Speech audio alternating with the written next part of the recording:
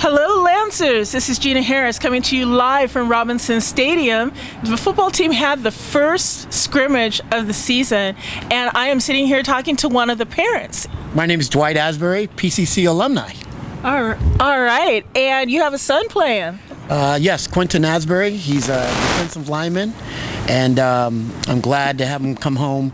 Uh, sort of second generation PCC student. I was in the uh, marching band, and uh, Quentin, actually, when he was in high school, he played the baritone and the drum. So uh, as he got older in uh, football, you know, things kind of took off for him.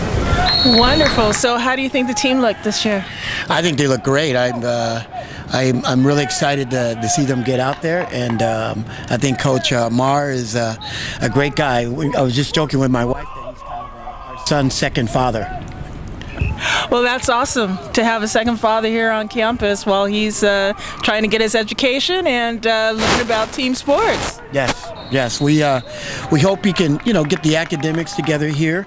Um, and coming into PCC, uh, he sort of had some offers, but his grades were a little bit lower. But we're hoping here at PCC they can help him get up and uh, do great things.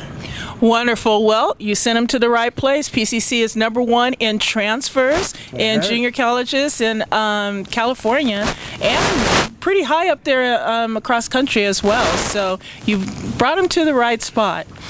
Um, thank you, everybody, for tuning in. This is LancerSports.net.